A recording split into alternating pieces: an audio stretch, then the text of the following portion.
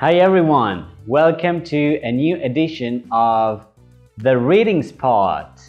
How are you? Hope you're fine. Today we have a non-fiction text.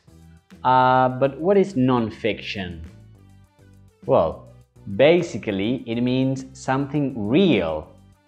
But if you don't remember well, you can check this video and you will see.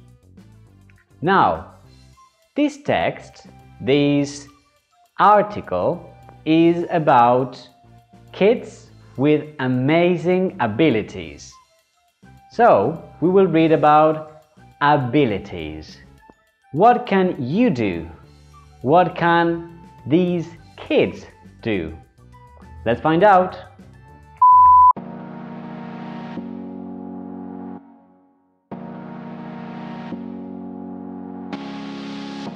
Kids with Amazing Abilities.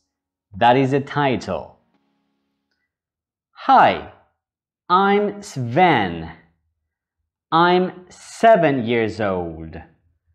I can clap 120 times in one minute.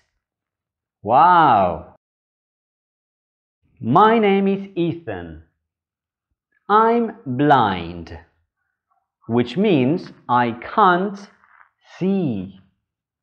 But I can ride a horse and climb trees. Okay, so you see, Sven can clap 120 times. How many times can you clap in one minute? And then Ethan can't see, but he can ride a horse. That is a great ability. I can't ride a horse, so that is something I should practice. Let's turn the page and let's see some other amazing abilities. I'm Sherry. I can talk in a funny way. I can say and spell words backwards. Look, cat is tack and book is cube. Can you do that? My name is Boise. I'm 10. I can swim in the ocean with my eyes open for a long time.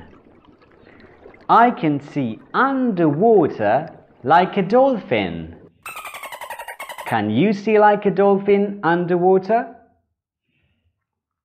Hi, I'm Carl. I can't walk, but I can play basketball. What are your special abilities? Wasn't it fun? A story is done. Very good, that was great. So you see, people have different abilities. Kids, like you, like them, have different abilities, and that is great, okay? Can you spell backwards? For example, C A T T A C, like Sherry. Think about your amazing abilities and you can tell me later. See you soon when we meet again in another edition of The Reading Spot. Bye bye.